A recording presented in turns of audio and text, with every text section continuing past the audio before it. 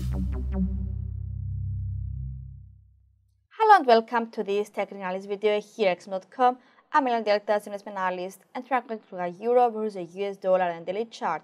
Having a look at the chart now, the price is struggling below the 4 SMA and the 23.6% Fibonacci retracement level of the downline from 1.1815 to 1.1175 near 1.1325 after finding strong resistance at the 1.1450 barrier in the preceding week.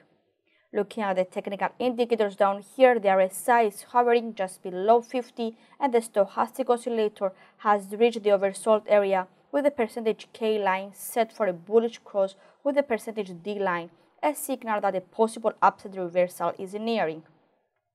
If the price climbs above the 23.6% Fibonacci of 1325, could send prices towards the upper Bollinger Band around 1.14 before touching the 38.2% Fibonacci of 1.1420 and the 1.1450 resistance.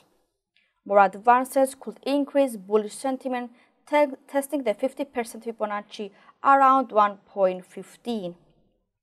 On the flip side now, if the price fails to jump above the SMAs, it could hit the 1.1270 bottom again, where a possible penetration of this obstacle could drive the pair even lower probably towards the lower Bollinger Band near 1.12 and then until the 20 the 21 month low of 1.1175.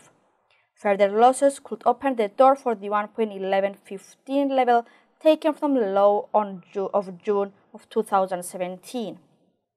Overall, euro dollar seems to be bearish to neutral in the short term, while in the medium term the pair continues to post lower lows and lower highs, framing a bearish picture. So that's all from me. Thank you for watching and have a great day.